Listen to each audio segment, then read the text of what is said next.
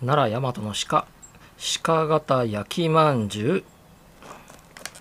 その昔春日大社を創建する際鹿島から完成した神が白鹿に乗ってどっかの山に降り立ったとされている。以来1000年以上の長きにわたり鹿は神の使いとして大切に保護されてきた。とあります。これ何山って読むんでしょうかね。恥ずかしい。漢字読めないのがバレました。ということでこれが何かというとえっ、ー、とあきチャンネルのあきさんからですねいただいたお土産でございます。はい。後ろはこういう感じで書かれてますね。よ。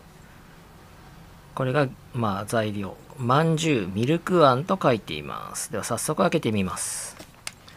あきチャンネルさんありがとうございます。よいしょ。まあね沖縄にいるとね意外と漢字が読めないという言い訳にしときますか。開けますね。本当はこうやってねあのいただいたお土産みんなねあの開封動画みたいな感じ撮りたいんですけどあの何て言うんですかね。家族がねもう先に開けちゃって食べてしまったりとかしてるので開封動画にならないんですよね。なのでまあチャンスがある時だけ撮影とします。こういう感じで入っていますね。焼きまんじゅう。では一つ開けてみます。よいしょ。こういう感じがいいのかな。ちょっと破ってしまったんですが、はい、ということで一つ開けてみます。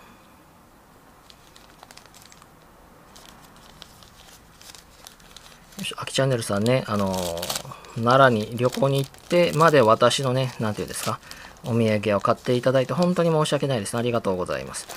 あと1品があるんですが、それはまた後ほどということで、よいしょ。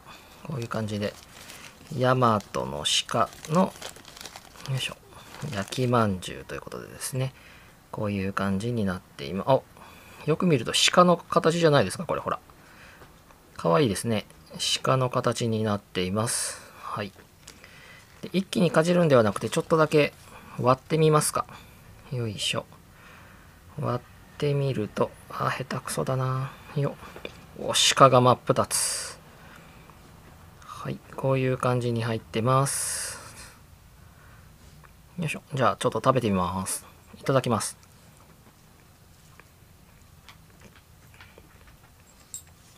あ、ミルクあん。うん、いいんじゃないですか、これ。うん。うまいうまいうまい。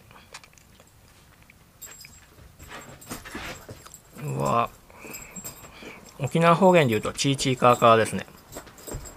お茶が飲みたくなる感じ。お茶菓子お茶受けの菓子あのお菓子としていいですね。うん。